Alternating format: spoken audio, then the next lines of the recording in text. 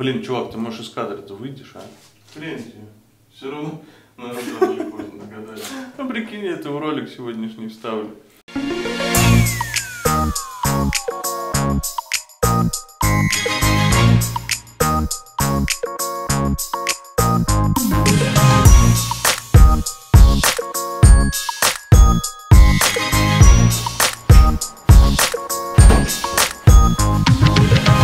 Сегодня у нас вторник, это значит, что сегодня у нас кулинарный блог. Сегодня будем готовить одно интересное блюдо. Честно признаюсь, я его никогда в жизни не готовил. Я даже не знаю, как оно называется, это блюдо. Но оно мясное, очень вкусное.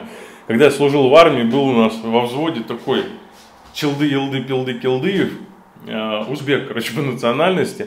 Он любил готовить при возможности и готовил пару раз одно блюдо. Я реально не помню, как оно называется, но я очень хорошо помню рецепт.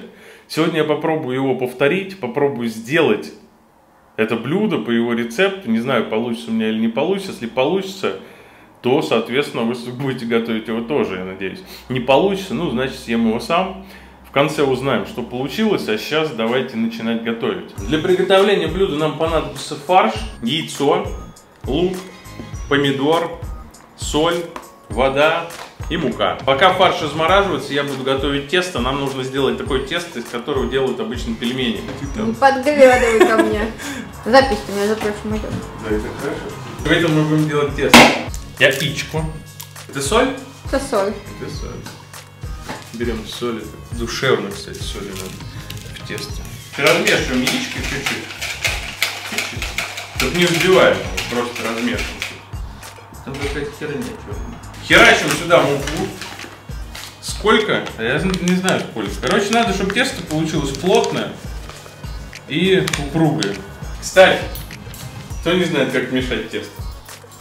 Берем вилку, корясь, делаем из нее такую херню и мешаем.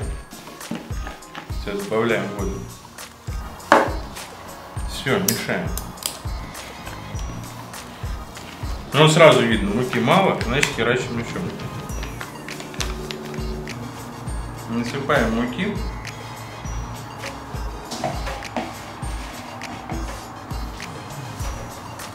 И начинаем его вот так вот выминать.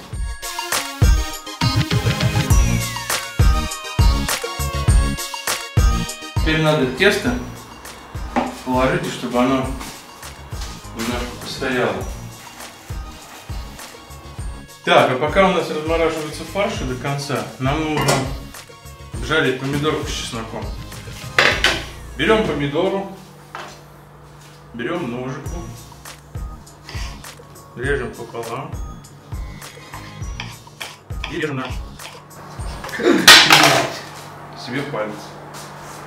Супер. Такой вот я повар криворукий.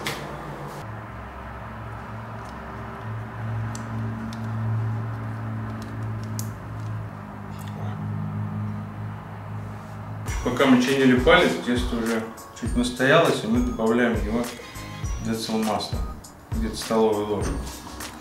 И еще раз его промешиваем.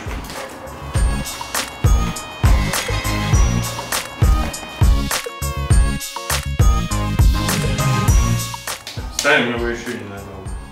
Тесто у нас получилось прям вообще. Я сам себя превзошел. Первый раз в жизни я раскатываю тесто.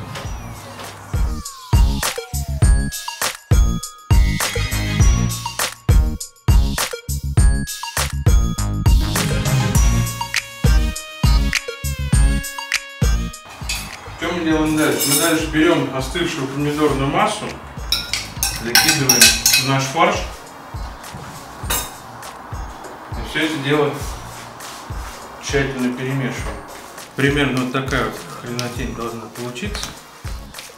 Теперь нам это тесто надо тщательно вот так вот по всему этому блину тонким слоем разложить.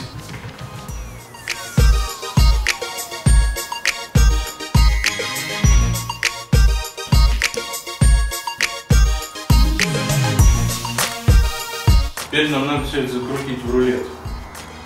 В тоненький вот такой рулет.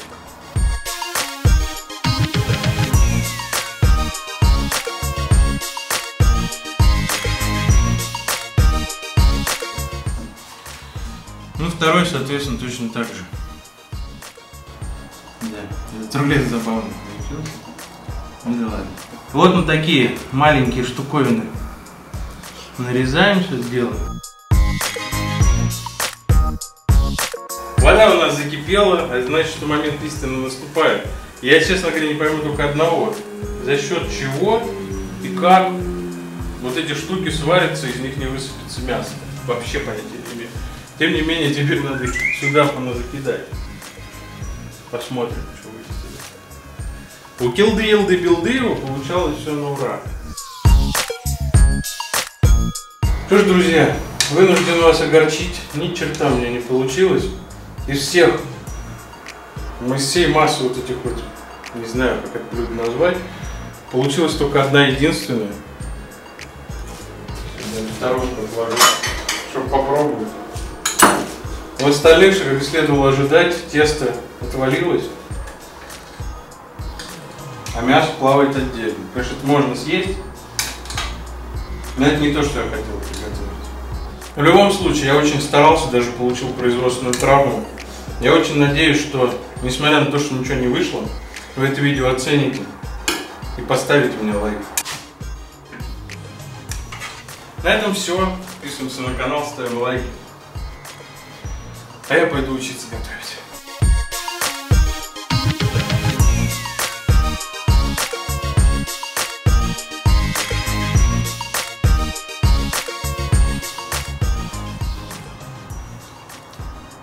Бы ужасно это не выглядело, но это очень вкусно.